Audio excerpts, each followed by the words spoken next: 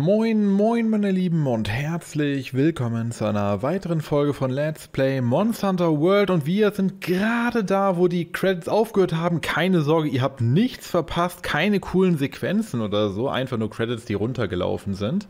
Und ja, jetzt sind wir wieder zurück hier in der Stadt und mal gucken, wie es so weitergeht. Na, jetzt hättet ihr was Cooles verpasst, deswegen habe ich rechtzeitig wieder angemacht. Sieh mal an.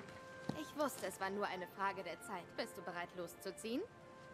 Die neue Welt wartet. Gehen wir jagen. So, unser Jägerrang wurde jetzt freigeschaltet, also die Begrenzung. Und wir können jetzt theoretisch auch Iceborn bejagen. Das möchte ich allerdings noch nicht unbedingt. Sieht aus, als würde es zu einer Expedition in den Wald aufbrechen. Hey, Partner. So, erstmal gucken, was andere Leute gerade machen, damit wir uns ein bisschen vorbereiten können auf Iceborn. Mal sehen, ob da irgendwas ist. Der Ältestenfresser haben wir hier. Hier haben wir noch fürchterliche Monarchie. Das ist auch übel, weil Theostra und Lunastra. Ist auch ziemlich böse. Allerdings habe ich die Aufgabe noch gar nicht.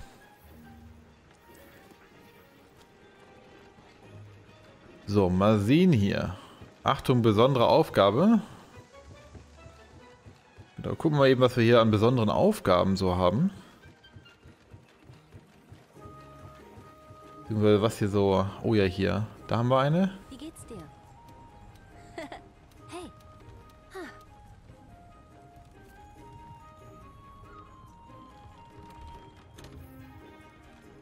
So, die können wir mit der Zeit dann auch alle fertig machen. Ich will erstmal hier mit allen reden.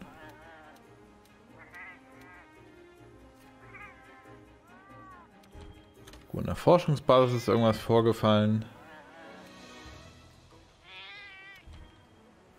Möchtest du das denn aufbrechen? Uh, nö, jetzt nicht gerade. Ey. Nein. Stop it. Können wir gleich machen.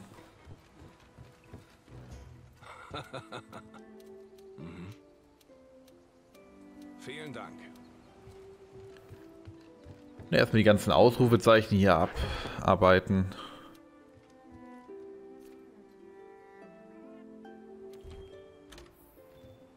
Genau, das ist glaube ich die Lunastra-Quest hier, die sengende Sonne.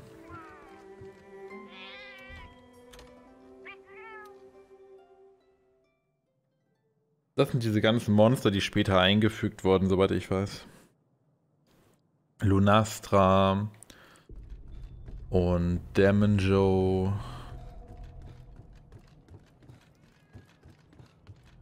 Der ist ja auch neu. Oh, siehst du die, die Mustersch? Ich habe heraus... Ich, was immer. Ich schicke gleich eine für Lü Ein ungewöhnlicher Fall, gelinde gesagt. Ich bin... Ah, alles klar. Ich denke, ich verstehe die Situation. Allerdings weiß ich nicht, wie sie einzuschätzen ist. Ach so, das vertont. Ja gut, dann lass das an Wir hier. sollten sicherheitshalber nicht zu nah ran. Aber dem Aussehen nach zu urteilen, ähnelt keines seiner Merkmale dem, was wir als Lebewesen bezeichnen würden. Sagst du etwa, diese Kreatur könnte aus einer anderen Welt stammen? Ach, das scheint in letzter Zeit ja häufiger zu passieren. Ich glaube, dass wir die Antwort darauf im... Es gibt... Oh nein. Nee, genau ich weiß, was das ist. Das ist wieder so ein Cross-Promotion-Teil. Ich meine, ich finde The Witcher ja wirklich toll, aber...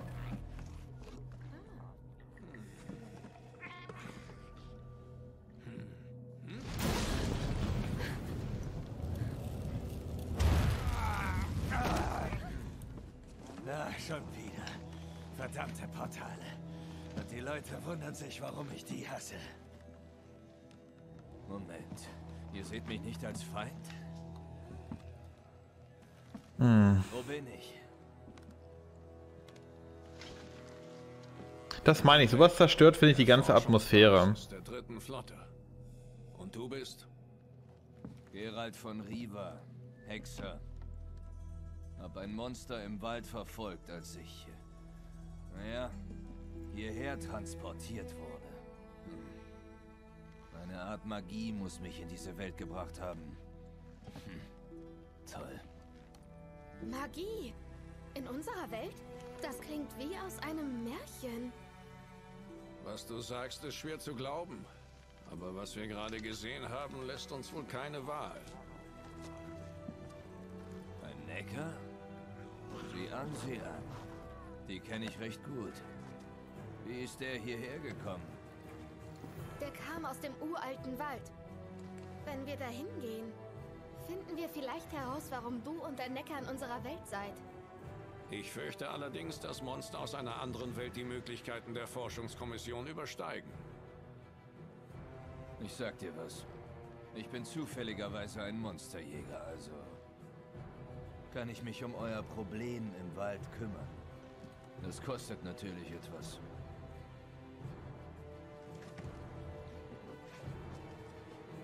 Gut, wir zielen auf dich.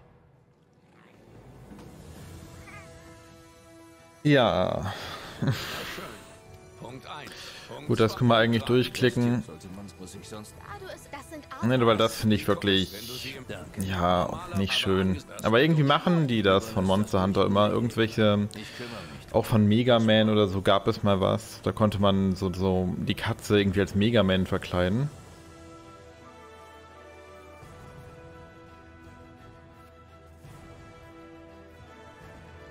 Nein, ich möchte Gerald von Riva gerade nicht helfen. Und ich dachte, das wäre irgendeine coole Quest. Also, wie gesagt, ich mag Witcher 3 sehr gerne. Und wenn ich Witcher 3 spielen will, dann macht das auch wirklich sehr viel Spaß. Und habe ich auch durchgespielt. Bis auf das eine DLC, was ich noch nachholen möchte. Aber das spiele ich dann, wenn ich Witcher 3 spielen möchte. Und ich, ich hasse das einfach, wenn Spiele dir irgendwelche anderen Spiele aufdrängen wollen. Genauso wie Final Fantasy. Ich finde, Final Fantasy gehört einfach nicht in Monster Hunter World rein. Das ist. Vielleicht bin ich mit der Ansicht alleine, keine Ahnung, aber. Naja.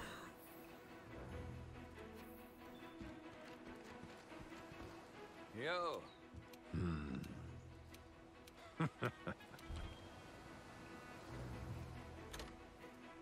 Bereit zu gehen? Ah, das ist Mont. Ah, aber das ist Monster Hunter Iceborne.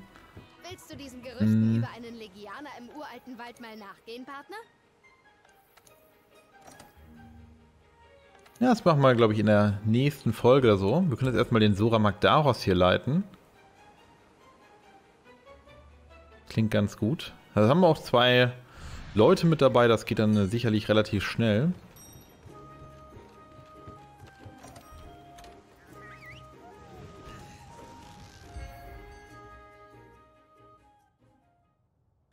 So, und dann können wir so ein bisschen drüber reden, wann wir Iceborne machen, weil eigentlich mh, gab es noch so eine Questreihe,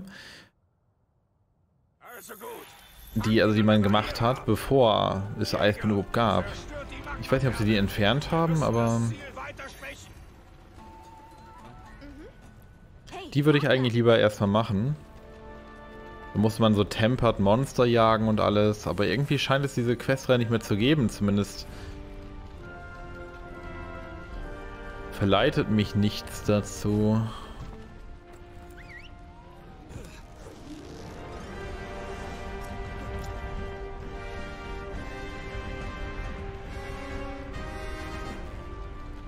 Ah, die Stalagniten haben sie wahrscheinlich schon runtergeholt. GGT.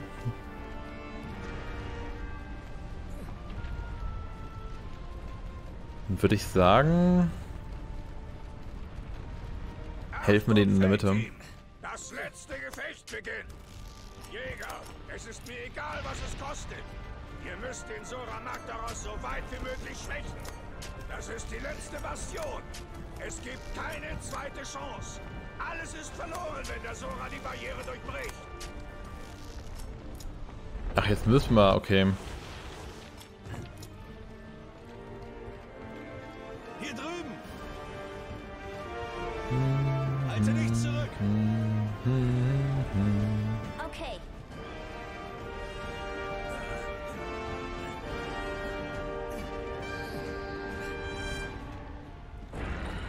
Ich glaube nicht, dass das trifft.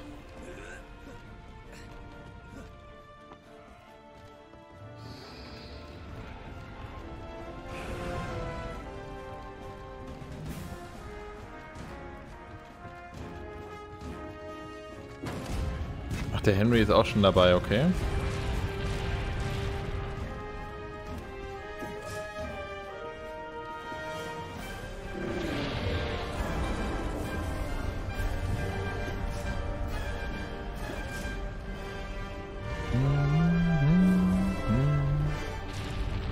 Er ihn angebunden? Und der Warren, ach so, der ist da hinten, okay. Na, dann nehme ich, glaube ich, die Kanone hier. Okay.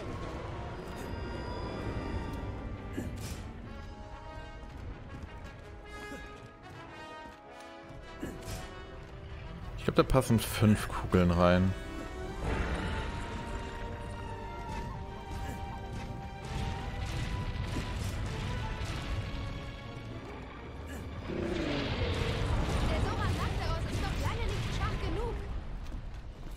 Ach was.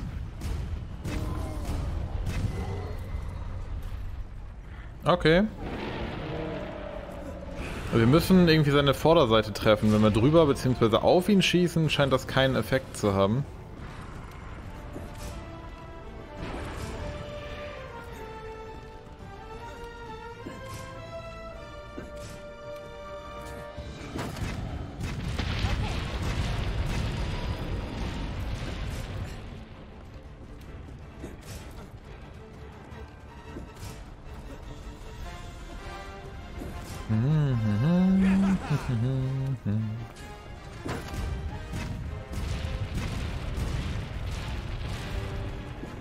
Ja, leer.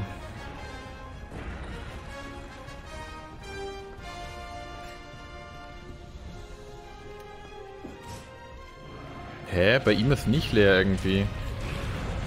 Bei mir allerdings schon. Warum ist bei mir leer und bei ihm nicht? Seht ihr das? Läuft er immer noch hin und her.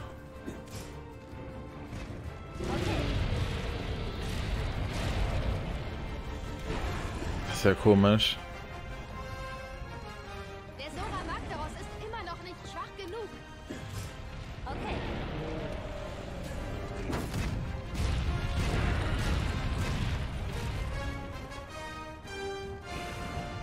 Ich gehe mal unten aufs Schiff. Wobei da schießt schon jemand. Ja, da ist jemand, okay. Dann brauche ich das nicht machen.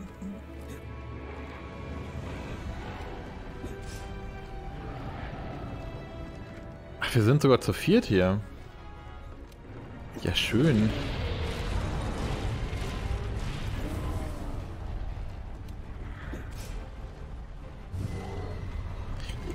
Ah, jetzt habe ich wieder nichts.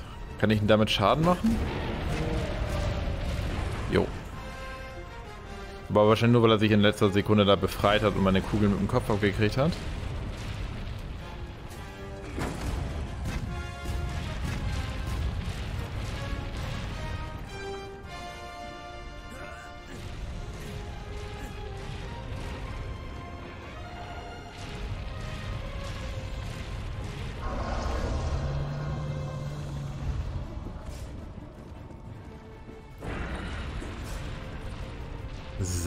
Vielleicht kriegen wir den Edelstein, deswegen habe ich das mir gemacht hier.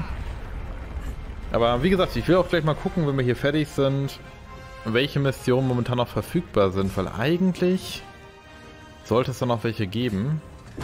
Über einen gewissen Jägerrang. Ja, das ging voll drüber. Wie gesagt, ich habe immer das Gefühl, dass die so eventuell, ne? Hinten drauf fallen könnten, aber nee. Denk mal hinten drauf fliegen, so auf den Nacken oder so. Und dann ist er.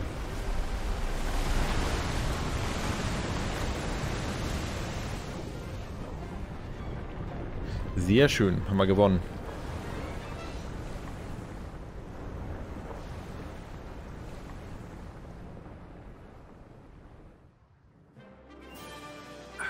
Leider kein Edelstein. Trotzdem gut. Ja, und ich nehme, was ich kriegen kann. Ich sag mal so, Teile zu kriegen ist immer sinnvoll. Na, ob man sie gerade in diesem Moment braucht oder später, ist das mal egal. Wir brauchen auf jeden Fall noch ein paar Monster? über einen Veganer im uralten Wald mal nachgehen, Partner? Nee, will ich gerade nicht, aber danke, dass du mich jedes Mal fragst. Oh, besondere Aufgabe, Besucher in einer anderen Welt. Der Besucher von einer anderen Welt. Doch aus einer anderen Welt. Hier haben wir jetzt Folge dem Saphir stehen. Das ist eine heftige Aufgabe. Die können wir nicht machen, weil wir den Jägerrang nicht hoch genug haben. Aber wir können mal eben kurz gucken, welche Untersuchungen wir haben und dann eventuell Leute dafür einladen. Wie läuft's denn? So, Ayag, Uragan oder Theostra? Ich würde sagen, Theostra ist eigentlich ganz cool.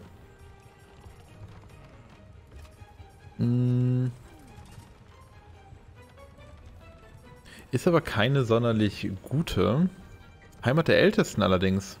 Hm. Ich gucke nochmal, ob irgendwas von anderen Leuten da ist, sonst machen wir die. Ältestenfresser nochmal. Oh ja, das ist gut. Der Gigante mache ich halt immer so gerne, weil der auch immer echt tolle Sachen hat. Reißender Wind des Zorns wäre auch ganz gut, da gibt es eine gute Brustplatte von ähm, dem Typen. Wir haben auch den der Edelstein ja schon. Da, da ist Handwerk drauf, glaube ich. Ich glaube, das war Handwerk. Und Pedro Henrique, den, den hatten wir doch schon heute. Den haben wir schon zusammengespielt. Hm.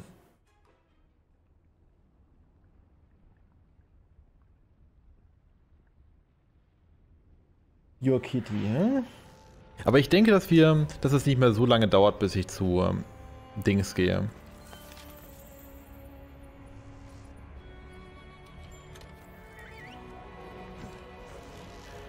Zu Iceborne.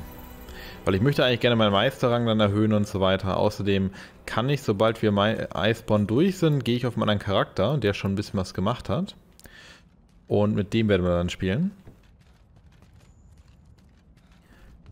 Nicht, dass ich den Charakter hier doof finde oder so. Ne? Nee, das nicht.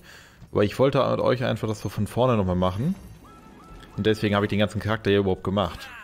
Und wenn wir an dem Punkt sind, wo der andere ist, dann können wir auch auf dem wechseln. Und ja, dann haben wir ja so das Iceborne Endgame vor uns. Da bin ich mal gespannt. Wobei ich sagen muss, dass ich bisher so ein bisschen nicht enttäuscht war. Aber ähm, es ist wirklich schwierig, Leute zu finden für die guten Sachen. Also gute Leute. Ne? Also ich weiß noch Kulve Tarot. Ich weiß nicht, ob das Kulve Tarot Tempered war. Auf jeden Fall sind die Leute so oft gestorben. So verdammt oft. Das war echt nicht mehr feierlich.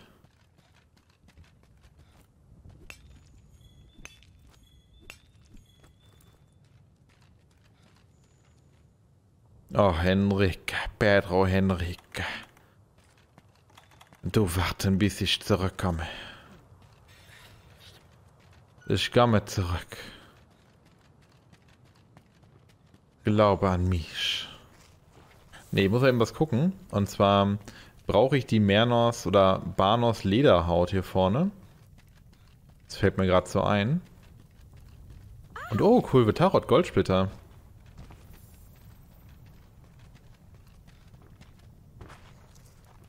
Ui. Aber hier sind die anderen gar nicht. Die heißen, glaube ich, Banos. Na gut, dann gehen wir zum Nährgiganten. Wir wollen ja nicht, dass die das Rennen alleine machen.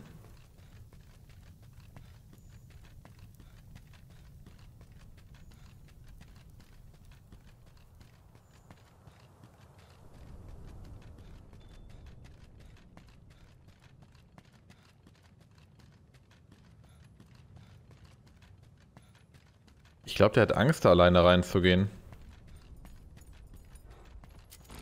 Komischer Typ.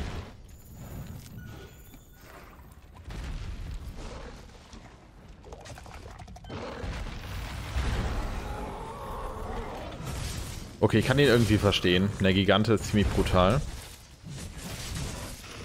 Oder kann ziemlich brutal sein, besser gesagt.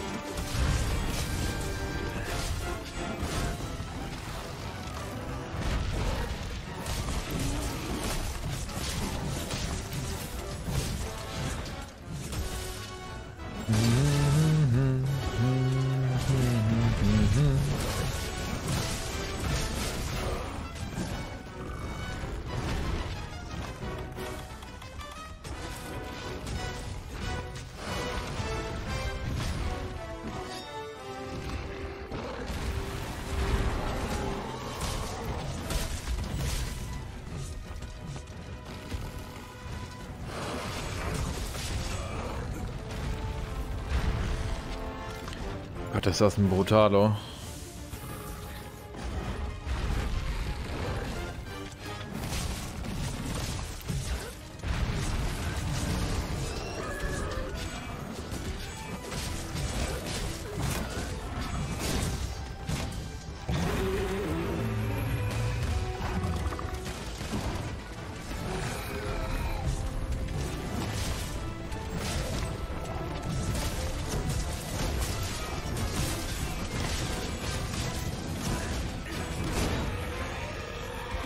Egal, wir haben durchgezogen. Und er hat mich nicht getroffen. Sehr schön. ja gut, die Bombe kam ein bisschen spät. Man kann nämlich, wenn man richtig gut timet, den glaube ich in diesem Flug runterholen. DGT. Das ist natürlich richtig nice.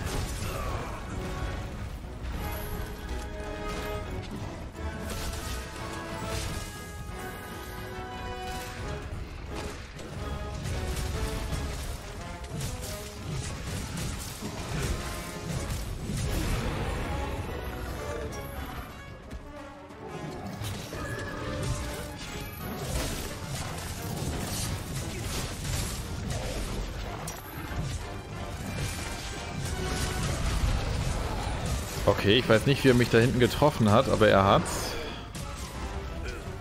Alter Schwede. Geh mal weg, ey.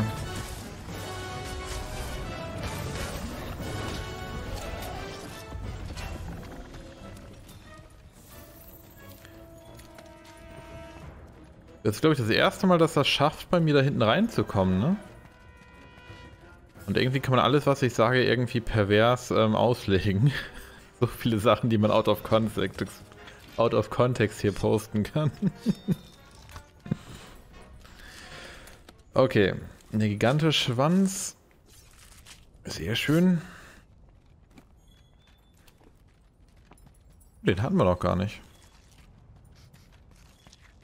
Wundert mich eigentlich.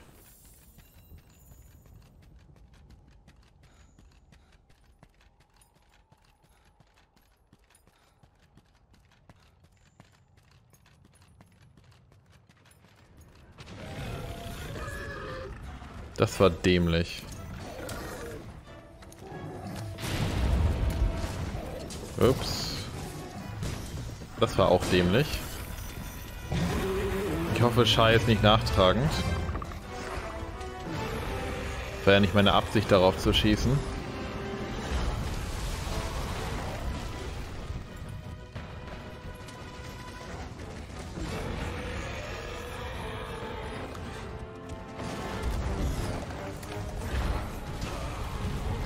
Jo, klar. Alter, was hat denn der für eine Hitbox, bitte? Ich war unter ihm, nicht vor ihm. Habt ihr das gesehen, was der für eine Hitbox hat?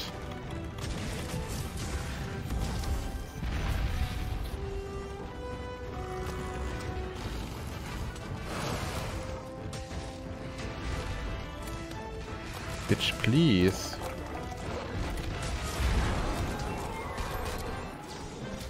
Naja, er ist down, aber trotzdem, das hätte nicht sein müssen am Ende.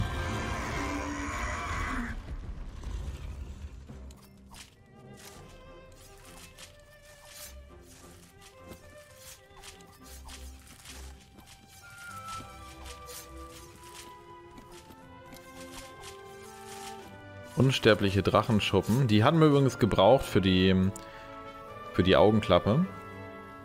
Deswegen ganz gut, wenn wir ein paar kriegen, weil die verbrauchen sich nämlich ziemlich.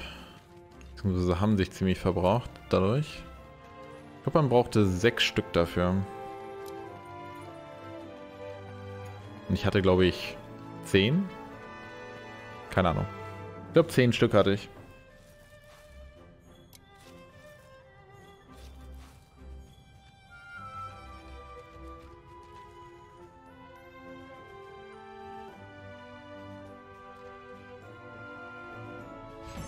So, mal sehen, was wir hier bekommen. Bitte was Gutes. Naja. Ein paar Kugeln.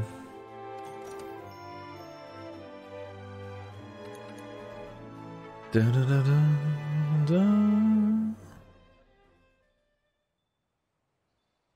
Ja, war trotzdem eine coole Folge. Wir haben einige Sachen hier fertig bekommen, beziehungsweise zwei schöne Monster jagen können.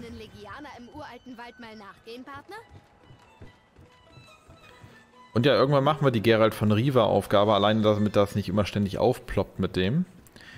Und ja, ich bedanke mich auf jeden Fall fürs Zuschauen. Ich wünsche euch noch einen wunderschönen Tag. Wenn es euch gefallen hat, Däumchen nicht vergessen und wir sehen uns dann in der nächsten Folge wieder. Bis dahin, ich wünsche euch was und tschüss.